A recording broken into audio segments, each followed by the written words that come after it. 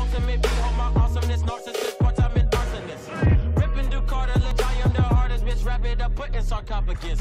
Dearly departed it started, so now that I'm living so harmonious. Feeling like Spartacus, sorry, the ultimate, I am the best, no politics, bitch, I'm ultimate. Now, I quickly just want to dish out my predictions on what's going to happen here. I kind of think that Bakugo will win because Bakugo, we've been giving him more character development and he has more characteristics that we can relate to. And in such way, I believe Bakugo will, um, he's kind of he's sort of the underdog, but at the same time not the underdog because of the power he's displayed throughout the tournament, and he actually shows like pure emotion. Or Todoroki, he's been kind of um, silent, and he's kind of been a blank wall until like last episode. We didn't really, well, not.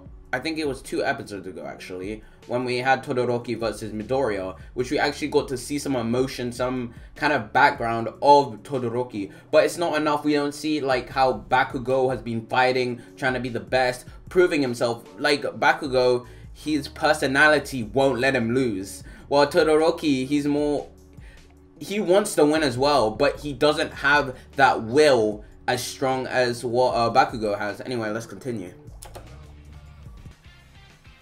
This opening is so dope. Gets me every fucking time. Best opening. See, now we're starting to, like, get some actually kind of emotion. Some kind of background to him. Which we didn't get to see before. Like, really. Bakugo has some kind of grudge against Midoriya. And I'm assuming it's because he's kind of, like, jealous. In some kind of way. I hope they make this whole battle just this episode. To be honest.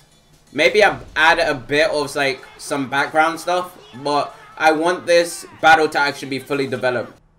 Oh, Bakugo like sounds like a fucking monster, a savage, about to rip apart that guy. Oh, oh, Bakugo making moves right now. This is gonna be a dope fight. I can already fucking tell. What Todoroki doesn't understand is Bakugo won't stop. And Bakugo probably, maybe isn't Deku level, but he's close. He's gonna end up using his fire, you can tell. Oh, he won't. I don't really have a preference who, on who wins in this fight, to be honest.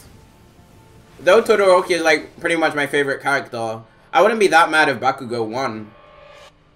Oh shit. Ooh! There's no winner yet, mate. It's completely obvious that's the case. Wait, he's on the ground? Are you serious? Oh, that's terrible. Why did he do that? Like, I, I kind of understand conflicting feelings that was a really cheap win. At least they're going to give us more on background of what happened to Iida's brother, though. Probably because they don't want to show, like, like the actual com the conflict between those two. Because if you kind of bring a winner out of those two, it kind of demeans that other character a bit to that point. I agree completely. This man looks like he wants to rip somebody's head off. Yeah, yeah, at least they'll give more, like, information about that. Because I want to know more about that villain. And, like, what's going to happen. Oh. I'm, I'm sad, not because Bakugo won, but it's because there wasn't, like, a true fight. He doesn't give a shit about the medal or you, to be honest. Ah, What the fuck is this Chinese version of Will I Am doing? okay, I kinda want more development on the other on the other things that are happening in this series. Because if they were gonna cut the, the battle short, I would like to know more about kinda basically what's happening. Really sad. Like, can you imagine if like one of yours, your like family members was in this kind of a situation? Well, that's that's crazy. Is he gonna die? I might actually cry, dude. That's his mom. This episode is very emotional.